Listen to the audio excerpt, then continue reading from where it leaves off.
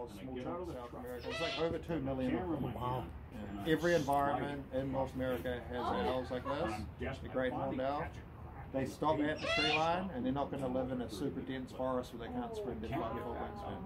Jimmy, another guy. Everywhere else, good to go. At point, he was like 330 pounds. That's a big. Oh.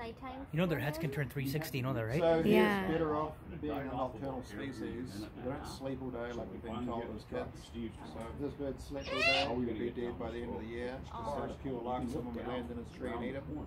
So his day basically, if he was a wild bird, consists of sitting, playing hide and seek, napping, yes. feeling safe. Our routine, yes. He listens. His hearing is insane. So like, think about how good you are at telling me if there's noise on the left or the right side of your body. Pretty easy to do. He hears up and down as well because his ears aren't opposite. He's got two ears, but one's slightly higher than the other. So he's hearing left and right. Covers every And up and down. wavelength Yeah, of he's got he's basically hearing asymmetrical and he hears in a different pitch too, right?